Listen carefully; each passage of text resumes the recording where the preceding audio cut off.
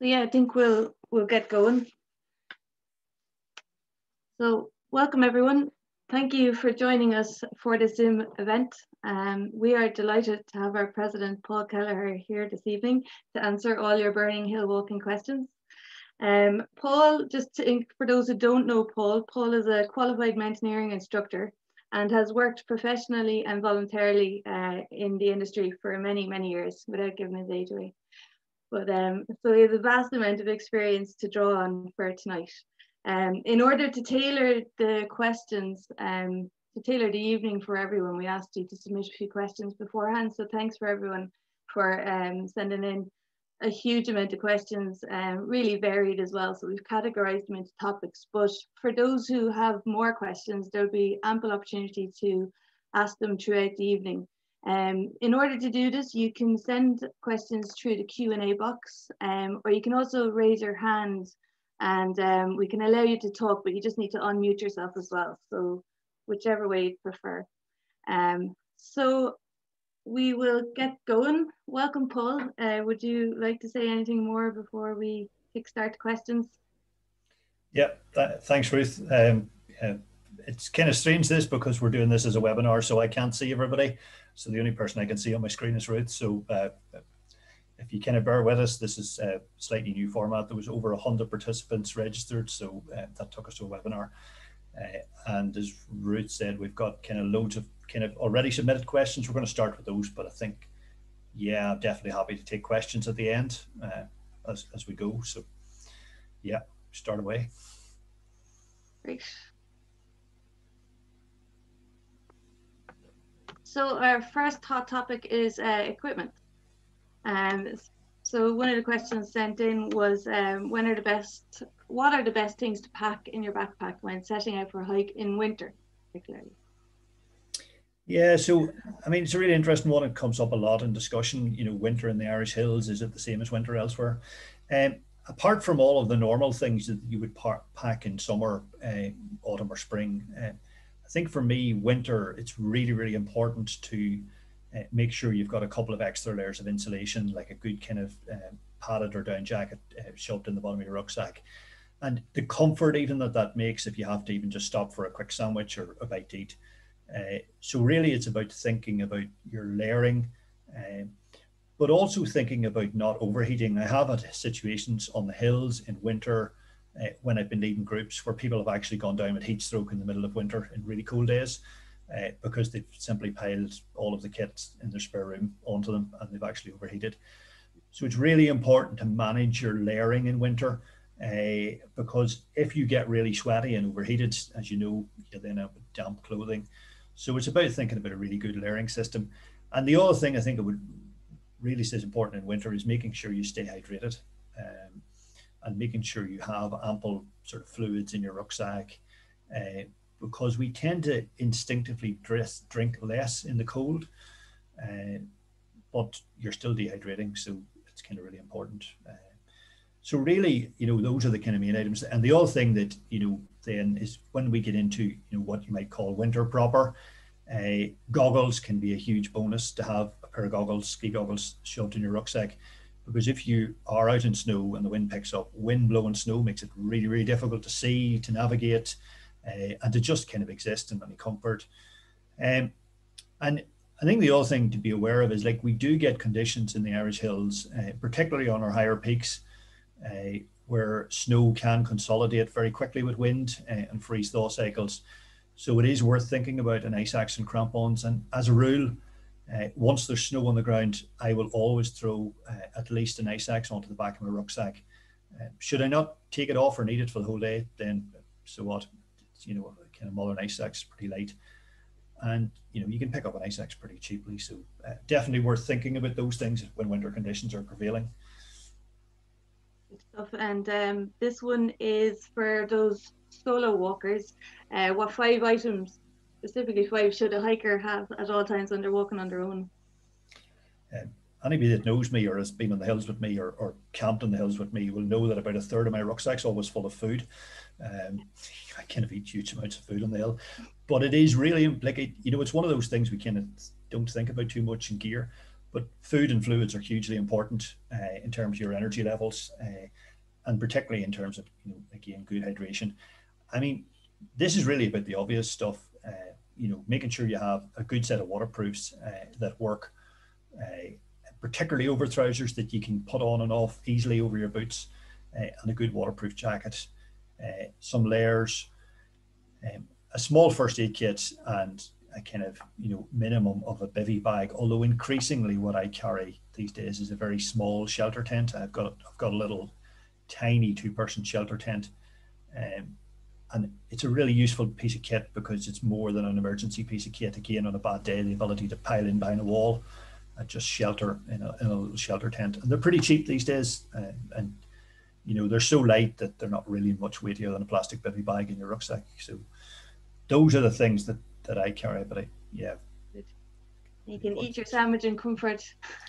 Yeah, my life revolves. my life on the hills revolves around food, uh, but it, it is you know it, there's a serious point to that that you know your energy to keep moving, and you know, if you become dehydrated, uh, you very quickly kind of lose your your muscular endurance. So uh, yeah.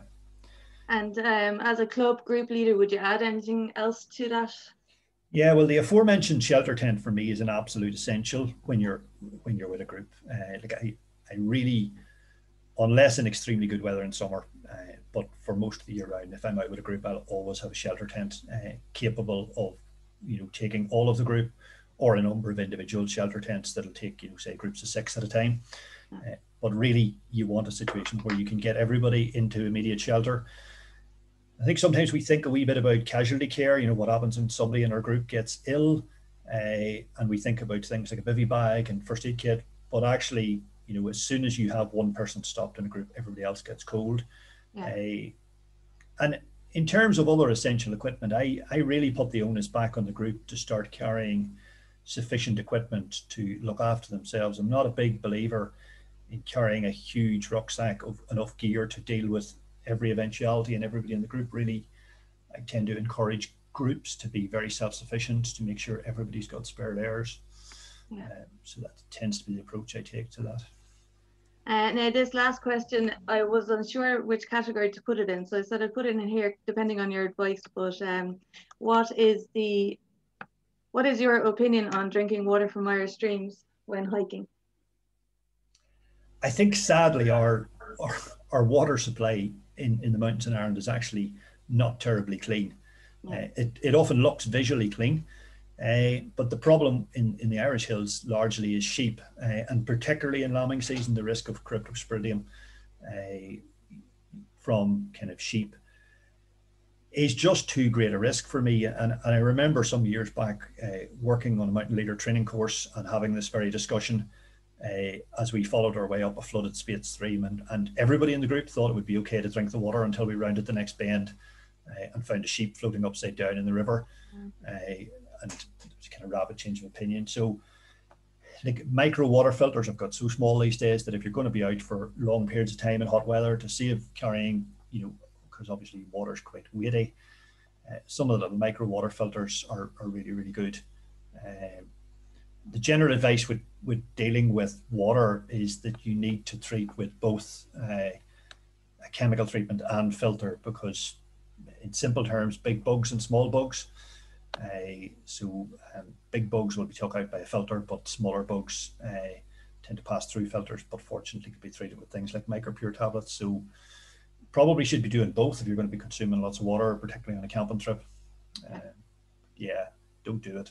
Carry it. um, so yeah, that brings us to the end of equipment. I'll just put it out there if anyone has any other questions uh, in relation to equipment before we move on. I'll just give it a, a minute there or two we can get back to them if um, if anyone has any questions anyway in the Q&A box. So we're moving on to navigation. Uh, the first question is quite uh, general, Paul. So any top tips on map reading? Um, I think my favorite thing about maps is is I kind of treat maps as my favorite book. Uh, and I kind of tend to pour over them in the same way that you would with a kind of favorite book that you have sitting on your bookshelf at home. Uh, so spend a lot of time and really, really study your maps. Uh, particularly in advance of going to an area if you're not familiar with an area and just kind of imagine yourself in that terrain on that map. What does it look like? What do the valleys look like? What does the terrain on the side of the hill you're walking up look like? Um, are the contours really close together? So just really spending a lot of time reading maps, interpreting maps, and creating a kind of visual image in your head. Um, and that skill, once you develop that, you know, it's almost a, the ability to, to view the map three dimensionally. That skill will probably manage you for about 90% of all of your navigation without even needing reference to a compass. Uh, and I think it's a particularly useful one at the minute because we're kind of all locked down uh, and maybe can't get out on the hills as much as we'd like. So, you know, it's a good opportunity to kind of sit and plan and uh, look at your copy of Irish Peaks that you've maybe bought by now and, and look yeah. at some of the maps for that area and, and plan your little adventures for, you know, where you're going next. Um, and and really that's my big tip is is that map to ground interpretation and vice versa you know the ability to visualize from from a map onto the ground uh, what the terrain's going to look like is is a really important navigation skill and it's one that you'll pick up with just time but yeah really study your maps I suppose that leads us on to the next hot topic of GPS versus compass but um the uh I suppose in any eventuality, it's always good to be able to read a map anyway from from ground. Yeah, you see, I, I find this one interesting because this often gets posed as, you know, can you substitute everything with a GPS unit? Um, and in a very simplistic sense, the, the answer is kind of yes. A and where GPS works really well is if you're an ocean sailor and you're crossing the Atlantic Ocean and you're traveling in a straight line on a fairly flat surface. Um, what it isn't, however, is a substitute for navigation skills. Uh, so I don't think you can take a GPS or something like ViewRanger on your phone, for example, uh, and replace navigation skills. I think you can use an electronic map instead of a paper map uh, in many situations. But if you don't have the basic understanding of a map and mapping valleys, contours, things like that, then the ability to do something like sit at home and plot a route into ViewRanger or a GPS unit and then go out on the hill and follow that is going to be immediately flawed because you'll have drawn straight lines over the top of cliffs or, or you know across valleys that involves up up and down. Um, mountain rescue teams in Ireland uh, and in the UK consistently warn about the risks of over reliance on electronic devices, particularly mapping apps on phones uh, because all of those devices are, are reliant on two things. One is battery life, uh, and the other is a satellite uplink. Um, which bear in mind, most satellite uplinks, you know, kind of are, you know, inherently not 100% foolproof. Um, so I think it's it's a really good tool to have in the toolbox, and, and I certainly use a GPS unit and things like ViewRanger, uh, but I don't think it can replace the ability to navigate, which is slightly different uh, to, you know, a GPS versus a compass discussion. Yeah. And even if you had the GPS, the map and the, the compass would be important. I tend to see them as, yeah. yeah. Sorry, I tend to see them as additional tools in my toolbox. Uh, so we tend to work on the basis that you need to be able to navigate, you need to be able to understand the basics of map reading, navigation, uh, and a compass bearing, and then you can build layers on top of that uh, and certainly, you know, when I'm working with clients in Scotland, for example, in really bad conditions, then, you know, absolutely having a GPS and being able to pinpoint yourself on the top of a plateau to sort of reaffirm what you're doing is a really useful thing. So, like on that same vein, yes, we can become over reliant on GPS because as we rely more on electronic devices to do the work for us, we stop honing our other navigation skills. So I think it's important that we kind of keep those skills up and continue to hone them and practice them because otherwise, like any other skill, they'll get kind of dusty in the cupboard. Yeah. Uh, there's another question on navigation here. Uh, assuming I have the I have a route card prepared ahead of time, how and when should you turn back if necessary?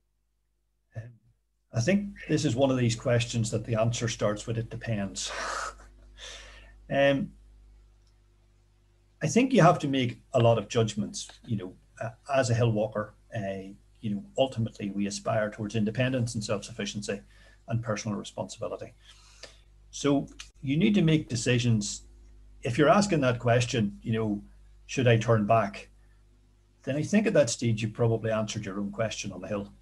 Yeah. Uh, so, you know, if you're planning to walk across, you know, really any mountain range in Ireland, um, there will be things that will dictate that plan for the day and may well change that plan. So, like the question here says, a route card prepared ahead of time. Well, we know that Atlantic weather systems do not always follow a week old forecast, for example.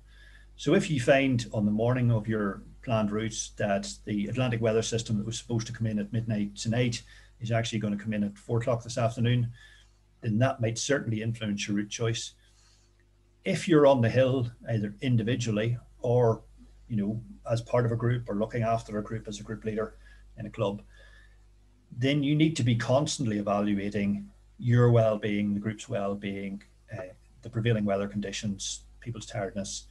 Daylight hours is the classic one, of course, at this stage of the year. So having having that kind of sensible decision-making process in your head about, you know, should I go on? Should I go back? There's always a point, you know, on any walk where you kind of cross a point of no return, where actually turning around, going back, or using an escape route is going to actually take you longer than finishing the route. So all I would say is it's just constant evaluation. You know, evaluate what's going on around you with you know your friends, your peers, your group, and the weather conditions around you and the daylight hours uh, to avoid becoming benighted or you know stumbling off the hill very late in the evening when you're very, very tired and more prone to an accident. Yeah. Okay, thanks, Paul. There's no more questions on navigation just yet, so we're going to move on to training. Um, so uh, yeah, this question is particularly in relation to the mountain skills um, course. So there's a current requirement for mountain skills assessment that candidates must have logged 14 walks within the last six months before their assessment. So if you know, the certain people may have loads of uh, walks done over many years, but um, they mightn't have time to manage uh, such walks frequently. So is this something that Mountaineering Ireland could relax a little, or what's your opinion on that? Um, I, am loath to, to quote an opinion here that entirely changes our training structure ad hoc, uh, and uh, Jane will get loads of phone calls to the office in the morning to say the president just said. Yeah. Uh, can, can I deal with this more generally? And sure. what I found over the years of working as a trainer and assessor on all of the mountain leader training schemes that exist uh, on this island, pretty much, uh, is that more often than not, as trainers and as assessors, we are dealing, uh, if there are difficulties, the difficulties arise where candidates do not have enough experience. So I, I think the person that posed this question, you know, has been walking for a very long period of time uh, over probably lots of varied terrain, lots of different mountain ranges. Uh, and what they're saying is, well, do I need to compress that sort of sudden bit into the last six months? Um, what I would do would suggest you do that in individual cases, you know, where you feel you have ample experience, I would encourage you to kind of phone the training office in Mountaineering Ireland and talk to Jane uh, about your specific case. But generally, you know, the reason that those sorts of requirements are in in all of the schemes between training and assessment is to ensure that when you attend a training course uh, that you spend time to practice and hone the skills that you've learned on that training course before coming for assessment so they tend to be guideline figures uh, that are in there uh, but they're in there for a very good reason because what we do want candidates doing is saying well i've only got half of the 14 i've only got seven days out on the hill and quite often when you distill that down uh, maybe only two or three of those were really good quality mountain days, and you know some of the other days were unfamiliar walks. So I think all I would say is, you know, ultimately there's a responsibility on candidates when they turn up for assessment to make sure that they kind of have honed all of those skills. So, uh, but yeah, in individual cases, talk to Jane. Uh, I guess uh, best thing. Yeah. Um, and another question, uh, which leads us on to group management in a minute, but I am so a mountain leader um, trainee should they consider joining a club to gain experience leading groups? Um, I think there's probably all sorts of reasons to join a Mountaineering Ireland club. Uh, you know, I think not only will you gain experience from potentially assisting and leading groups, uh, if you're going for your Mountaineer Award. Uh, but also the club will benefit from your experience. So you know you get to work alongside other experienced uh, club leaders. Um, it's it's a really good way of gaining experience. I would caveat that and say you absolutely have to continue to develop your own personal skills as well alongside that. But look, I mean, I think it's kind of you know definitely worth looking towards a club, your local club, uh, and helping out with kind of walks and stuff uh, to gain that experience. I think the dynamic of working with a group is, is, something that you can't kind of fake with your friends in the same way. Um, you know, it, it's it's always easier to be real with a group of kind of relative strangers in a club setting than it is with you know a close knit group of your friends, um, you know, who tell you maybe what you want to hear as you prepare for assessment. Yeah, exactly. And it might be you might be put in other situations that you mightn't be put in with your, your friends as such to kind of it, you know with with a with a very group of club members as well. You know, one of the things that I guess well I'll probably cover it in the next bit then about you know kind of group leadership. Uh, but yeah, I just think it's, it's better to sometimes work with groups of strangers. Yeah. So that moves us on to group management. This is there was a lot of questions in on this particular um, area, uh, specifically around like you know characteristics or tips on becoming um, a good mountain leader, or you know specific skills that you need to be a good hill walking leader. I, think you know I can kind of cover these in in in the one piece because you know I think they are you know fundamentally kind of very similar question for me, the biggest, the most important skill is, is the skill of empathy. Um, you know, you need to be able to uh, not be driven by your objective by the day, so for the day solely, uh, and you need to really take into account your group.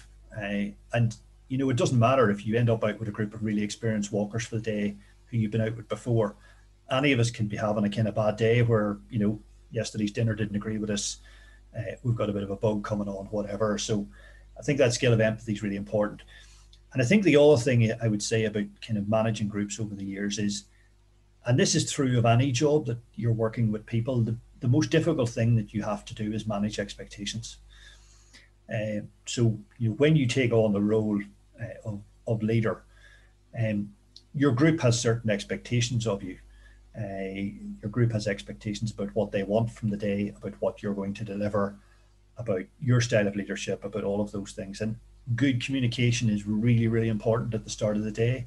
So, you know, think out uh, what is your objective for the day.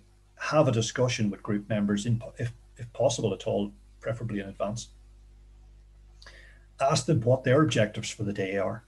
And if you find yourself with a group with, you know, very differing objectives for the day, then to be honest, before you tie your laces on your boots, you're in trouble uh, because if you've got a group with very varied expectations, you're not going to meet them all. So that's really important, I think. Um, and beyond that, it, it is just the ability to evaluate the situation as you go. So in the course of your day, you know, out walking, uh, you need to evaluate kind of all of what you set out at the start of the day. Is it still possible? Uh, is it still achievable? Is everybody still on board with that objective? You know, so you know, use your use your time like your lunch breaks chat to people have conversations with people and, and, and kind of check in with people as you go yeah, I suppose one of the issues you might come up against would be uh, this particular question: uh, What do you do when the route planned on paper at home in advance is not possible on the day of the hike? So you you land up and the path doesn't exist, or the train is not passable, etc. Yeah, I mean, some of this comes down to the level of diligence of your route planning, but also your experience of planning. Uh, you know, so if you're working in a reasonably familiar area, you should be, you know, comparatively familiar with, you know, well, does that path actually exist in reality? Um, there are lots of mountain ranges where there are old grass tracks and old bog tracks marked as dotted lines that actually on the ground are very, very hard to follow.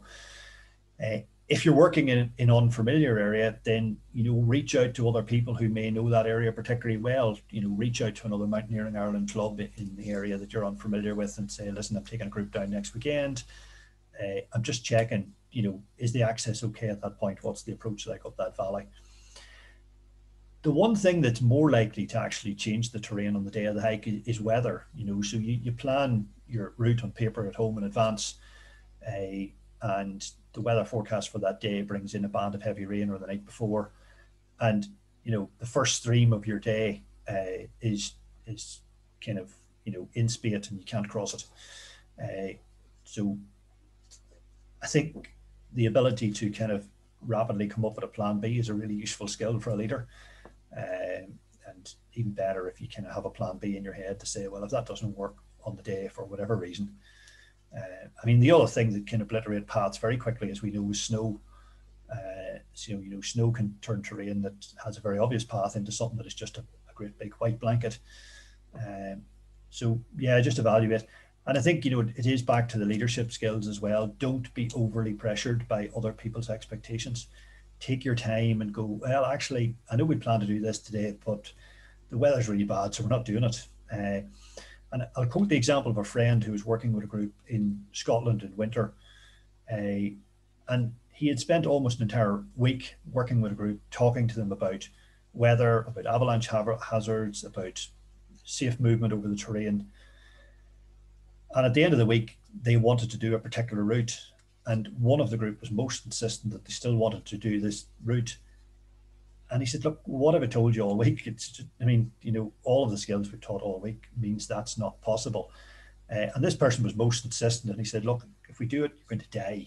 it's like he had to go that far to get it through to them. So don't be overpressured as a leader, and you know, if if you plan something in best effort at home, and you turn up and it's just not going to plan, then be prepared to put your hands up and say, "Listen, this is just not this is not working out the way I planned it. We're going to do something different. Yeah. Don't be pressured. Yeah. And so uh, the next topic, yeah, there's a few questions specifically to our current situation. Um, one question was, uh, what is the best way to practice your technical skills like navigation during lockdown? You, you briefly mentioned it there. Yeah, like it comes back to my earlier comment about, you know, I, I kind of um, I kind of treat my maps as books and I spend a lot of time reading them. Uh, and I spend a lot of time thinking about route planning and you know where I'm going and things like that. I think the other thing is is thinking about some kind of literature, uh, and most of you will have seen uh, this book from the Mountain Training uh, Scheme. Uh, yeah. Although although we end at, at say, the Mountain Leader Training Scheme, it's actually a really good book. It's got really good sessions. This is actually an older version. I think it's now on version three, possibly. Uh, but uh, that's a really good book. There's also a comparative winter skills uh, version of it, and this has a particularly good section on navigation in winter, which is really useful. Uh, there's a navigation book in that series as well, uh, and you know you can do lots of planning. Yeah. uh, so you know, I mean, you have to be realistic that you know during lockdown we've we've now been kind of in and out of a series of lockdowns for about 12 months. And in that period, um, you know, all of our skills will have got rusty. Uh, so when you go back out and when we can all get back out into the hills and have little adventures again, plan your adventures with with that in mind that, you know, look, I've, I've gone a wee bit rusty. Um, couple of people there saying sorry they can't see the books. Ruth's going to uh, type type the titles into the chat box for you. Yeah, I have them actually printed at the end of the presentation, so they. So, um, great, thanks, Ruth. So yeah, look, I mean, just be realistic about the fact that you know all of those skills will be rusty, uh, and plan some safe adventures to, to kind of you know get your skill base back up when when we're out of lockdown. There was a question there uh, just in relation to group management as well. Um, a person turns up for a walk or a climb not correctly equipped. Do you go ahead? What would you do? Uh, I think my advice here is, you know, if you can stand over that you've communicated that information properly in advance uh, and that you've made it really clear if somebody turns up without waterproofs or without a pair of boots, they will not be going on the walk for the day. And I think, you, you, you know, there's the tough love thing here. You need to stick to that position it is really, really important back to the managing expectations piece. It's really important that you communicate that information in advance and communicate it very, very clearly. That if you turn up on the day without a pair of boots or without a waterproofs or without whatever else you've specified on your kit list, then you'll be getting back into your car and going home or going to the coffee shop because you'll not be taking them on the walk for the day.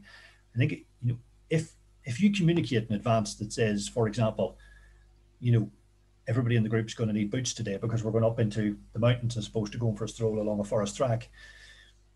And somebody turns up without boots and you say, no, it's not ideal, but come on ahead anyway. Now, four hours later, when you're waiting on the mountain rescue team to come to rescue that person with a broken ankle in the trainers, justify your decision making. Yeah. You can't. Or if something really bad happens and somebody slips on really steep ground and goes toppling out over a cliff uh, and gets seriously injured or killed, and yeah. you're in front of a coroner saying, uh, you know, Mr. or Mrs. Leader, uh, defend your decision making. Uh, everybody else was wearing boots. Why was my client not? You yeah. couldn't defend that decision. So yeah, really clear communication with people and just hold, hold the line. Yeah, and you're setting an example for the rest of the group as well. Then yeah. by, by what you answer. Yeah. Um. So this is a direct question. Um. Is how are you keeping up your fitness during lockdown? Well, that's really simple. I'm not.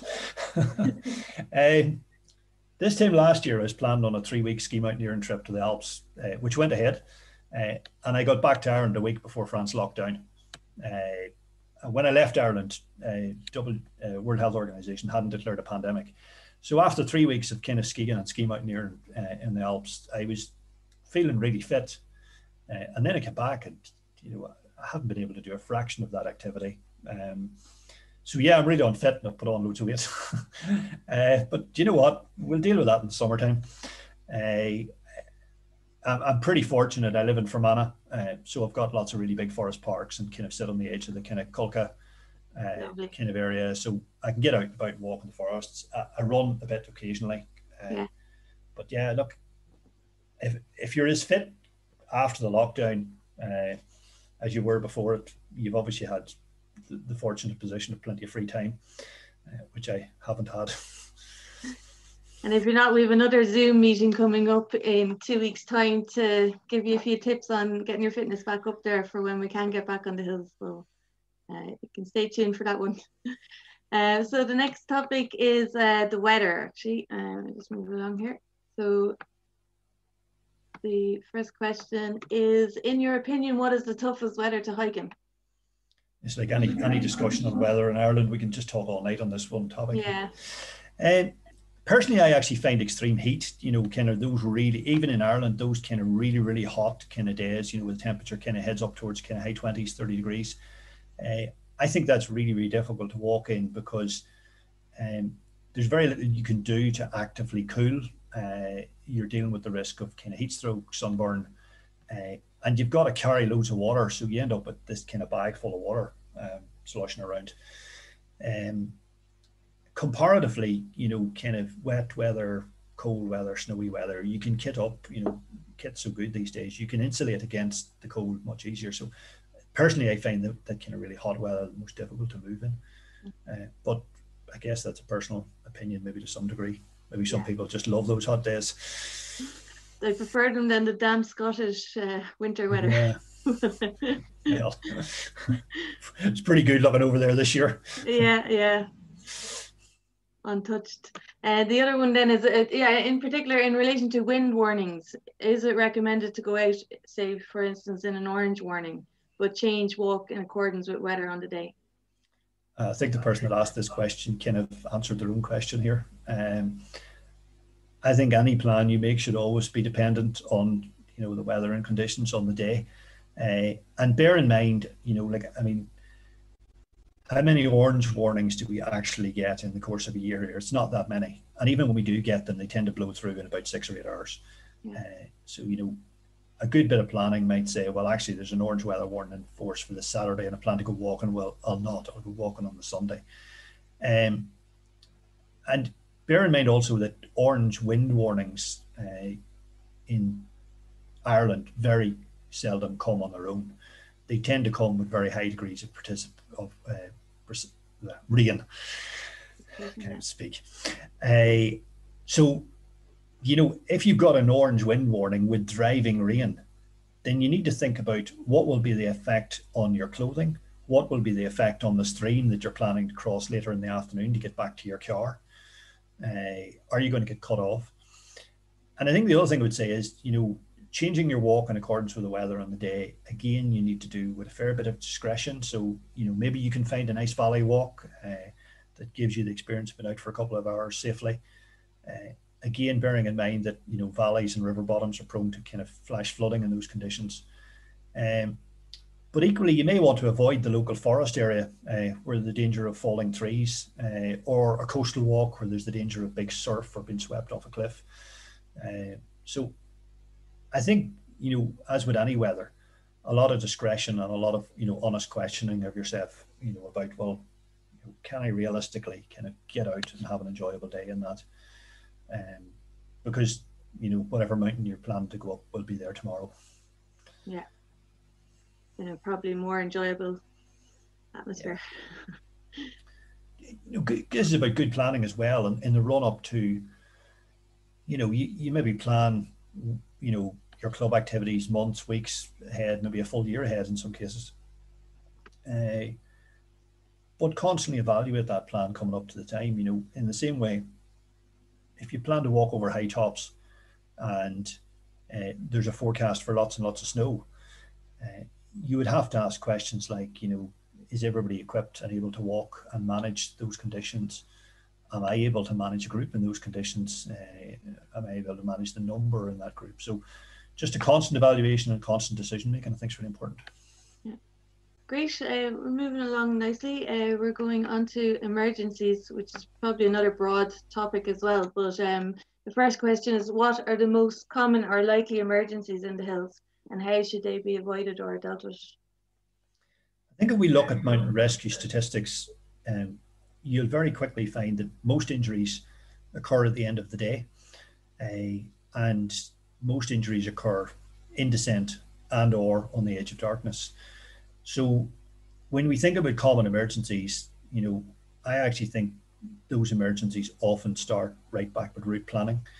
Uh, so you know, good in, in terms of avoiding and dealing with those issues, really good route planning, being realistic about your journey for the day, allowing enough kind of slippage time in the day that if people are just walking that a little bit slower, that you don't end up descending kind of a fairly steep descent at the end of the day, uh, you know, coming off a peak uh, with a tired group, because that's, you know, when you're likely to get injuries. And, you know, a lot of those injuries are lower limb injuries, they are ankle and knee injuries uh, you know, caused by trips and sprains, but actually many of those are caused by kind of tired legs and tired brains uh, at the end of the day. So really good route planning, uh, being realistic, uh, you know, descending the devil's ladder of Carrauntoohil uh, at four o'clock on a winter's afternoon is probably not a kind of great plan for the day.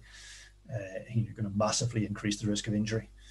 Um, so yeah, good planning and um, you know, making sure that people can get off with still enough reserve energy. Uh, kind of not busting people, you know, not kind of beasting people on super long days to the point where they're, you know, um, absolutely exhausted. And many walkers may well want kind of longer or challenge walks, and that's okay if, if, if you're fit and kind of skilled up for that. But yeah, just make sure that your plan kind of measures up with the group that you're working with for the yeah, day. Because comes back to your earlier suggestion about you know having the correct equipment footwear like is so important as well like with slips and descents and stuff as well. It, it, it's kind of interesting like we we we seen uh, the mountain rescue statistics for ireland last year um, just in 2020 despite kind of a series of lockdowns were significantly up on previous years. Now we know that there are vast numbers of of kind of new folk taking up walking in the hills uh, you know, we see kind of online Facebook groups with lots of pretty photographs that attract more people out into the hills, and, and it's kind of a bit of a cycle. Uh, and you know, I think that's great at many levels. I think the enthusiasm of people that have kind of discovered and found the outdoors uh, is great, but sometimes there's a gap between you know finding something new and finding a new sport and you know gaining enough experience to kind of keep yourself safe. So there's kind of a, the potential there. Uh, and I think you know back to my earlier comment about what kit you have, you know, making sure that if you do have an emergency, you have a kind of you know reasonable first aid kit, and you know having a shelter tent will really make a difference because you know if you do have to call out mountain rescue, uh, and I would always say to people certainly call out a rescue team uh, sooner rather than later because the longer you leave it, you know the kind of worsening conditions everybody's going to be in. Uh, but if you do need to call out for help and call out a rescue team, the difference that a rescue team will find a warm group inside a shelter tent with good morale, uh, or one that's kind of on the brink of hypothermia, will, will make a huge difference to what happens in the next couple of hours while they safely extract you from the hill. So, yeah, bit of kit. Um, if um, the next question then, yeah, this comes up a lot within clubs actually. If leading a group and someone gets ill or injured, should the group stay together or split up? Uh, this is very much a depends question.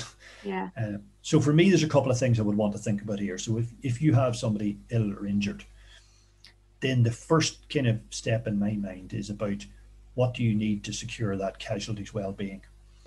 Uh, and if that's a couple of people in the group to get into the shelter tent with them, to make sure the shelter tent stays put in windy weather uh, and keeps them stable whilst you know somebody the group leader treats them, then that's your first line your second line has to be how do you look after the rest of the group? Because as we all know, once you stop moving in the hills, you start to cool very quickly. So, you know, if you take a group of 12 people uh, and one person gets ill or injured, what you absolutely want to avoid is deal is ending up with 11 other casualties as well. Uh, the decision about the group staying together or splitting up very much depends on the experience within the group so if you're in a group from your local club and you've got two experienced leaders in that group, then a reasonable decision might be for one leader to stay with the casualty and a couple of people to assist them, uh, and another leader to take the remaining party off the hill. And that will simplify the mountain rescue team's job. Uh, at the end of the day, if they only have to kind of help a couple of people off the hill late in the day. However, what you don't want to get into is making decisions that you are assuming people's competence and assuming that the rest of the group can get down safely. Uh, so if you're making that decision to split up, then it has to be on the basis that whoever is leaving that particular site to follow an escape route, etc., can safely complete that route to, to the road, to the cars, uh, and to safety. Uh, otherwise, you're better absolutely staying there because what you'll end up with is a mountain rescue team having to search for three or four split up groups. Yeah. Um, you know, it as I say, the, length of the route, the ease of the escape route, the experience of the group, the experience of another group leader will all affect that decision. No hard and fast answer there. Yeah, thanks. Well, um, the question just came through there. Would you insist on everyone carrying a head torch, especially during winter months? Absolutely, in winter. Um, I mean, trying to trying to walk off the hill on, on even moderately complex terrain like a rocky track uh, you know, tripping over boulders without a head torch or relying on the light of somebody else's head torch is, you know, just a recipe for injury. Uh, I mean, I don't really mind whether it's a head torch or a hand torch, to be honest. I mean, a head torch is particularly handy for you as a navigator to be able to kind of, you know, read your map. To be honest, long as somebody has a torch uh, that produces a decent enough light that they can see where they're going, uh, not overly fussy. I mean, a head torch these days is, you know, you can get a basic head torch pretty cheap, uh, and even some of the you know the kind of cheap models out of some of the kind of large retail outlets uh, are pretty reliable. Uh, worth carrying a few kind of ordinary sized batteries, you know, AAA and AA batteries, kind of a little plastic bag in the bottom of your bag, because sooner or later, you know, somebody's head torch will have flat batteries. You can be sure of it. Yeah. Uh, and you know, having spare batteries for your own head torch if your own head torch runs out makes you look pretty smart anyway. So, yeah, uh, yeah. And the weather can affect the battery as well, can't it? Yeah, I mean, batteries are batteries are obviously limited by you know cold weather will, will greatly impact on on batteries. So, uh, absolutely. Yeah. Uh, I, I, carry a little spare, tiny micro head torch, one of those little, um, the ones that take a little button-sized battery uh, I carry one of those in my first aid kit as a spare. Oh yeah, always handy to have. Um, so we're moving on that this is the the last section. So if anyone has any other questions that they're thinking of they can pop it in the Q&A or the chat box there as well. Um, we're just moving on to yeah this is primarily an access question. So it's um, it's regarding stiles what are Mountaineering Ireland doing to encourage farmers and other landowners to install stiles to avoid damage to fences and walls is the first part of the question. I mean, our Access and Conservation Committee and our Access and Conservation Officer works continuously on, on, on these sorts of issues throughout the country. Uh, so, I mean, it's one of those kind of fairly constant agenda items that comes up in the Access Conservation Report, for example, from the Mountaineering Ireland Board uh, and the Access and Conservation Committee will work on. But actually, many of these issues are actually best solved at a local level. And, and I think, you know, I would always say to members, we need to be very realistic that our professional team, uh, Ruth, Helen, Damien, Jane, uh, etc., in the office, are actually a very small team. Uh, and, you know, to try and solve every issue, and there are multiple access issues across the country, as many of you will know at the minute, uh, all on our own. Uh, for Helen, doing that is, is, simply an impossible task. So, and really encourage local walkers, uh, local clubs, local members to engage with look with the local farming community around them. If there is specific issues that they're struggling with, uh, and they want advice, then you know absolutely Helen will provide that advice uh, and guidance uh, in terms of best practice, etc. Uh, but bear in mind that you know all of us live ultimately within an elect an elected area where we elect our local council representatives. So again, in terms of things like funding and lobbying, there is no reason why individual members can't kind of you know take that up at a local level uh, with Mountaineering Ireland support from centre. But you know the sheer scale of, of you know access challenges that we're facing across Ireland at the minute and you know some of the very genuine fears of landowners about things like dogs on the hills uh, you know about the risk of litigation etc is all causing a pressure you know so as a local club having a good working relationship with many of the landowners in your area is, is going to be to the benefit of, of the entire kind of hill walking and mountaineering community so you know absolutely encourage you to do that the Mournes, Ruth, is a rather unique situation, and it's a very interesting one in that the Mournes is kind of managed by Mourne Heritage Trust in that respect. So the replacement stiles will have been organised by Mourne Heritage Trust, or in some places the National Trust, where they own the land around Slieve Donard. Uh, but that's a really good example of a kind of community-based, what was originally a community-based group set up in Newcastle uh, that has grown over the years, sought professional funding, and and now kind of is very engaged with that uh, that whole Mourne area. Uh, so obviously things like Mountain Access Scheme been discussed in some areas, but it's some way off delivering a kind of you know island wide solution at this stage. So yeah, I mean build local relationships, build local friendships, stop and chat to the farmer, uh, talk to them about the pressures and issues and concerns they have, and talk to them about solutions. You know, be it stiles, be it gates, be it uh, you know reaching out and, and making sure that you know access issues are identified really early and communicated out uh, via Mountaineering Ireland to other clubs, uh, etc. Get involved. Yeah. Actually, just speaking about getting involved, like myself as the Hill Walking Development Officer, I'm always keen to hear from members as well. Um, we're always at the end of the phone or an email just if there's any queries uh, locally as well, or if we can link in with yourselves from a local side with clubs um, we also have uh, two vacancies on the Hill Walking Committee at the moment. So if there are people in the audience tonight that are keen to get involved or, are interested in the work that we do, uh, just get in touch with myself as well. Um, this was this is just a question coming up there. Um, what a great amount of information. I'm new to Hill Walking, so delighted to have been given uh, the opportunity. So thanks. Um, yeah, this was just to uh, just to share those resources that you mentioned earlier, Paul, as well. Um, yeah, I put up the, the navigation amends as well. I find that particularly good as well. Um, these are all available on our um, on the Mountaineering Ireland shop as well. Now um, it's quite restrictive at the moment because of access to the office, but um, they are available online as well.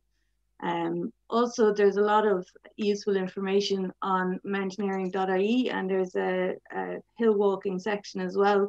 Uh, we've recently uh, published happy hiking campaigns, just simple, straightforward information in relation to like general information about, you know, emergency planning a route, when enjoying the outdoors responsibly. So there's lots of information there um, as well online. Um, so I suppose just open it up to see if there's any more questions before we close it up.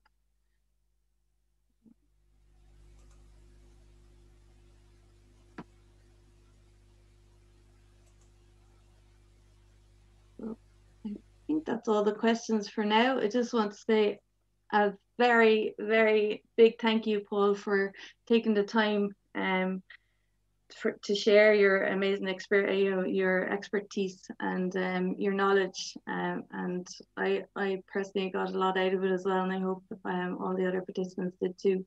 Um, just to mention as well, the Zoom around the mountains continues and it's on for the next uh, couple of weeks. So just put up what's left. Um, so there is still spaces available if anyone would like to register um, for any of the, the events coming up there. So Paul, thanks again and um, take care everyone. Thank you everybody and hopefully we'll kind of all be out and about soon. Uh, and look forward to maybe bumping into many of you on the hills. Yeah. Thank you.